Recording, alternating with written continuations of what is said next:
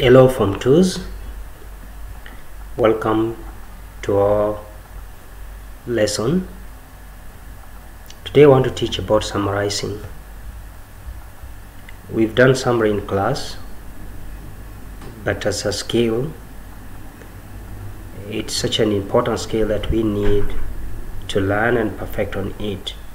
So our lesson today will focus mainly on the following objectives one by the end of the lesson uh, I want you to be in a position to uh, be able to define what a summary is then list the steps of creating a summary. When you list such steps you'll be in a position to work out or to summarize any lesson or any passage that you are required to do a summary about. Then we'll also I'll also guide you in creating a sample summary. So in this third uh, point I will guide you through on how to do a summary but then you as a student by the end of it you'll be able to pick up pieces of information and shorten the passage as required. Okay let's dive into the lesson and look at the definition. So summary can be can be defined as a shortened version a shortened version of a passage written in one's own words. Am I lighting this one in blue so that you can see written in one's own words meaning you have to read that person uh, passage but use your own words in writing a summary. A summary covers the essential points of the original text. Here I'm talking about essential points important points these are the points that you are asked. If the question asked then you are supposed to focus on those particular points.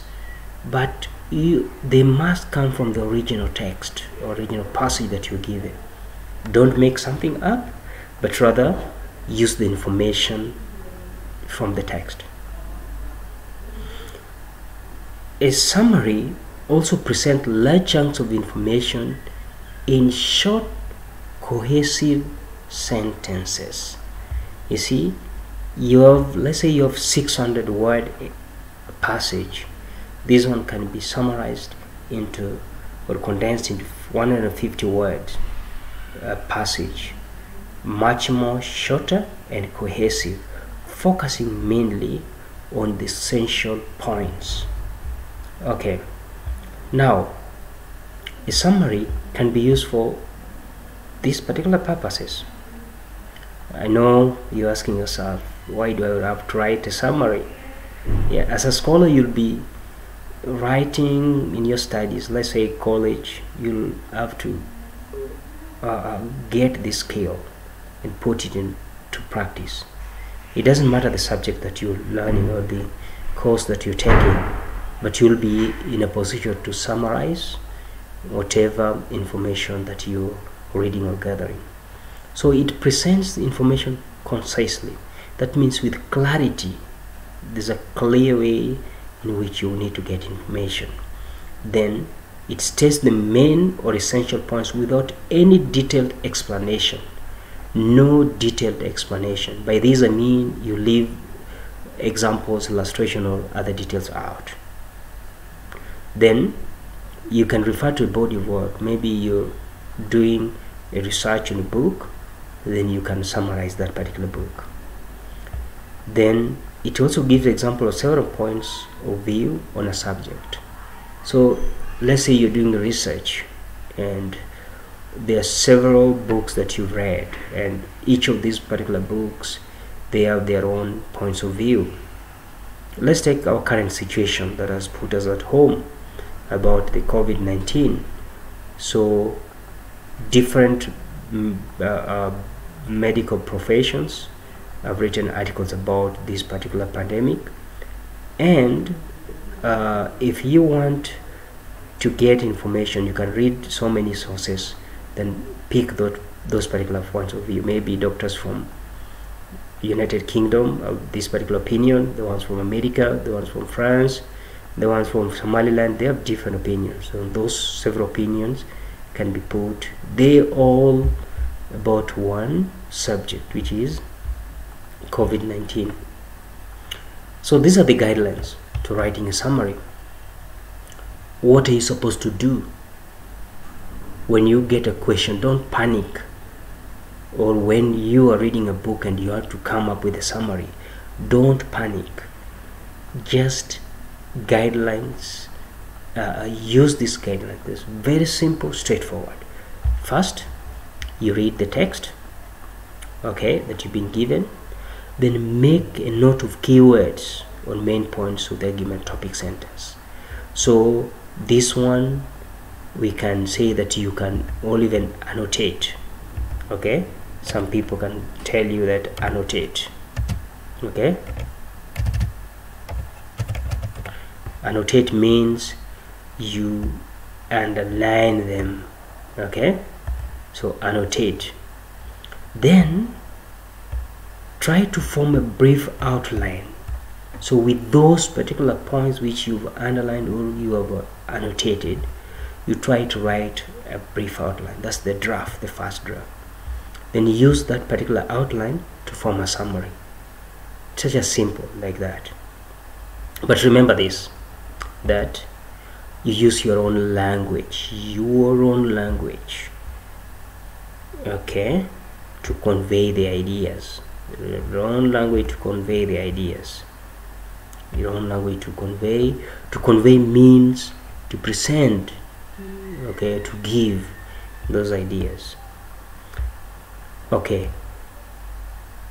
One thing that you can do you can keep some keywords from the original text and accordingly you can give a title.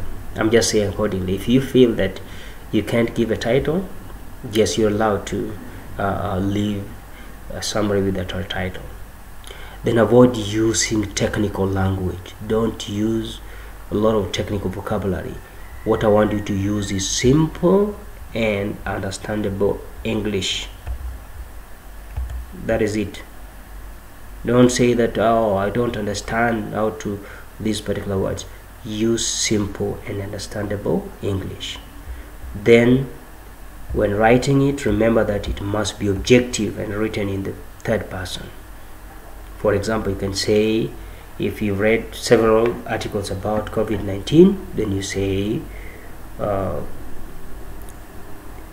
many doctors have different opinions about the virus okay they say the virus like that.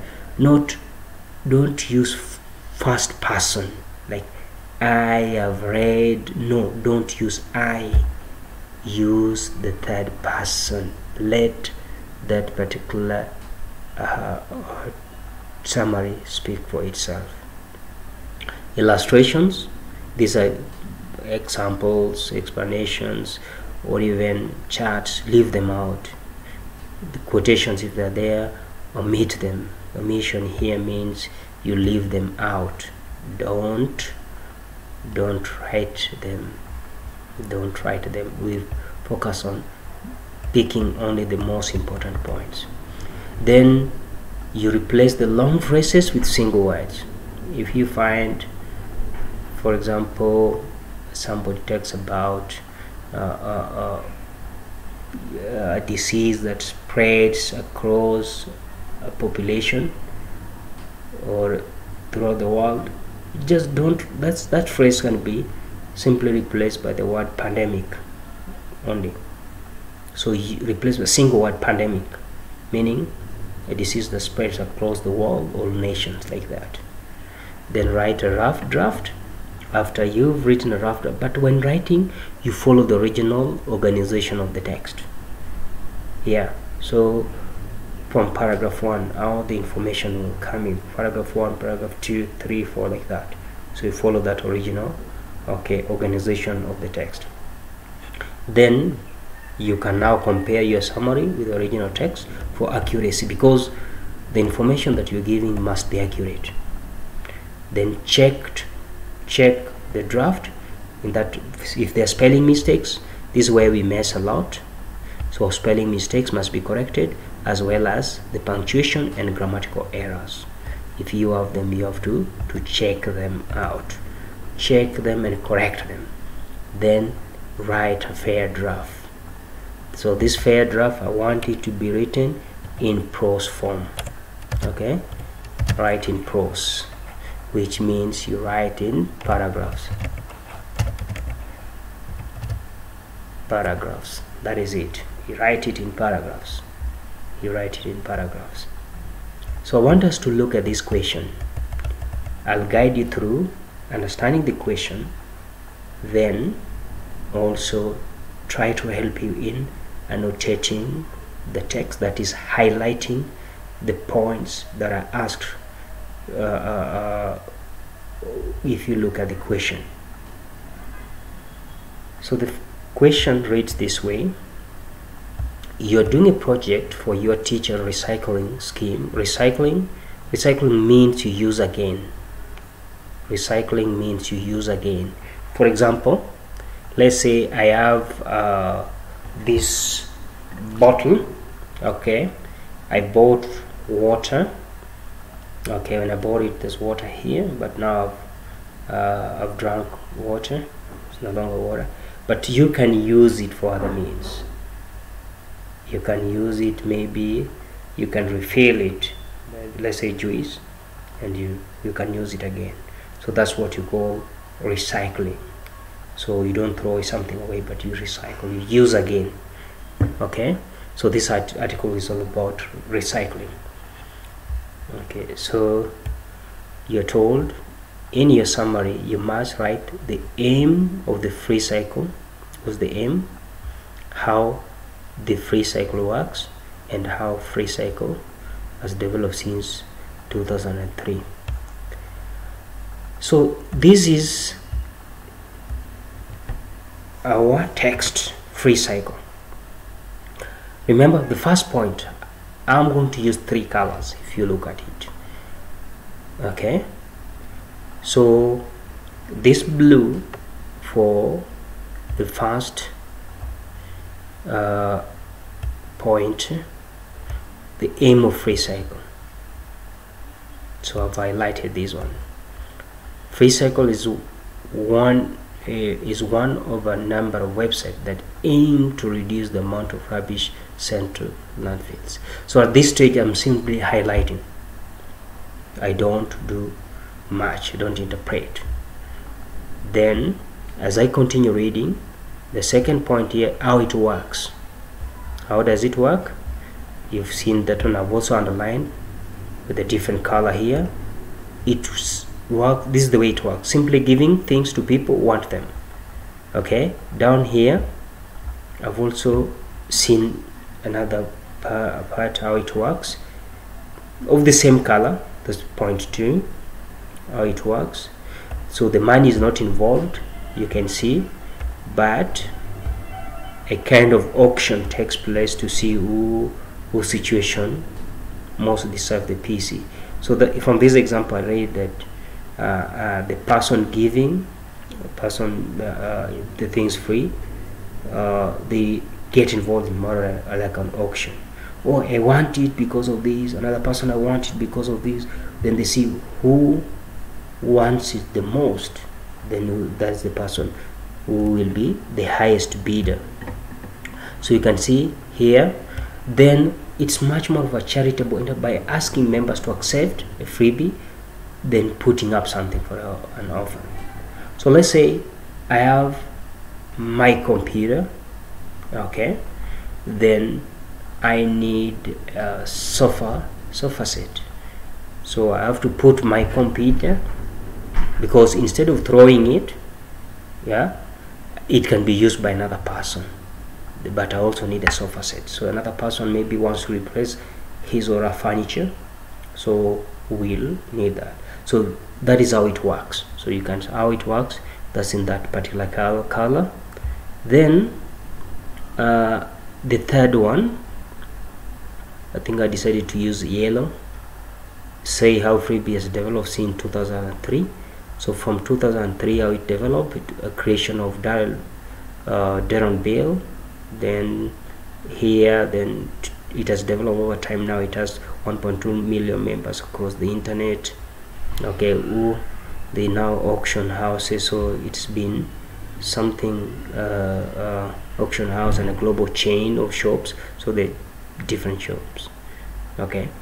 So if you lo looked at what I've done there what I've done is simply highlighting the most important okay points to help you write that sample.